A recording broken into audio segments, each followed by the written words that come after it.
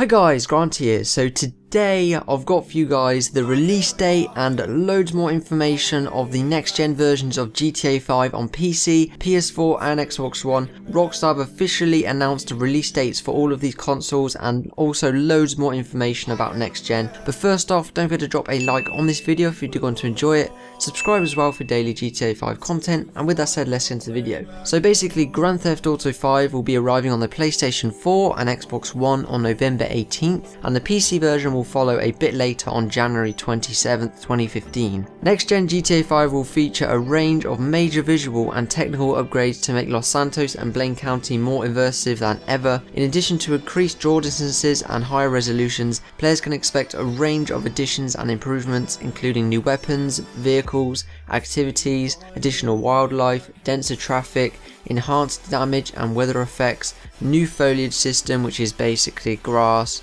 bushes, trees, all that kind of stuff, and much more which hasn't yet been released or announced. There will also be enhanced radio selections with over 100 new songs and new DJ mixes from returning DJs across the game's 17 radio stations, and also all players who pre-ordered the game will get $1 million in-game bonus cash to spend online and in single player, you will get $500,000 to spend in single player and $500,000 to spend online. And also a load of new and exclusive content will be there awaiting players that are returning from current gen PlayStation 3 and Xbox 360 versions, including rare versions of classic vehicles to collect from across the Grand Theft Auto series, such as the Dukes, the Dodo Seaplane, and a faster, more maneuverable blimp. And there's also new activities including wildlife, photography, and new shooting range challenges, new weapons, and a lot more stuff yet to be announced. There is also an increased player count for online, now being able to hold up to 30 players guys on PlayStation 4 and Xbox One. That's going to be absolutely insane. That, that's probably one of the main reasons I'm really excited after I found this out. I think 30 players online would be crazy. And all existing gameplay upgrades and Rockstar created content since the launch of Grand Theft Auto Online will also be available for the PS4, Xbox One and PC